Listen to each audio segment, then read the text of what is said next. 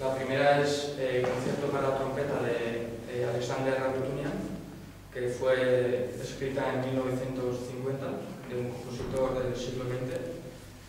Y bueno, eh, era un compositor armenio de la Unión Soviética y bueno, es una obra muy eh, virtuosística que bueno, refleja un poco la música de, de allí. Y la segunda obra es de Oscar Bonn, el concierto para trompeta de Oscar Bonn. Eh, hubo un compositor alemán, aunque gran parte de su vida hizo en Rusia, del siglo, a finales del siglo XIX. Y bueno, era un trompetista muy, muy virtuoso, que también se refleja un poco en la obra que, que escribió.